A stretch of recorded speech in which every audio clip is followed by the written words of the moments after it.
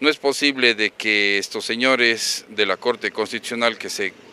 deben ser considerados jueces constitucionales hayan restringido un derecho como es este, el de la revocatoria del mandato. Si nosotros analizamos desde el punto de vista jurídico, el artículo 11, numeral 4 de la Constitución establece que ningún derecho establecido, consagrado en la Constitución puede ser restringido. Están restringiendo este derecho de la ciudadanía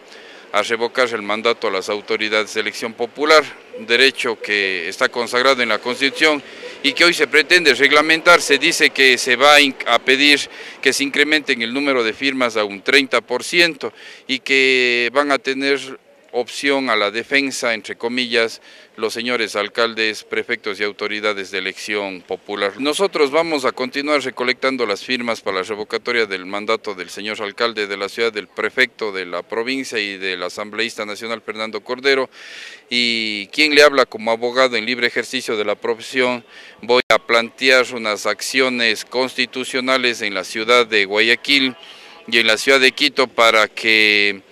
se continúe con el proceso de la revocatoria, ya que, como dije, es un derecho constitucional que no puede ser restringido bajo ningún pretexto por quienes se encuentran en funciones prorrogadas y que no tienen la calidad de jueces constitucionales. Nosotros aproximadamente ya tenemos, estuve hasta el día de hoy, hasta la una de la mañana contabilizando y pasando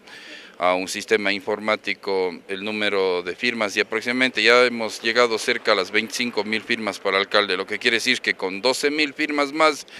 estaría el alcalde siendo sometido a un proceso de revocatoria. Igual para el señor prefecto nos faltan unas 16 mil firmas y también entraría él a proceso de revocatoria.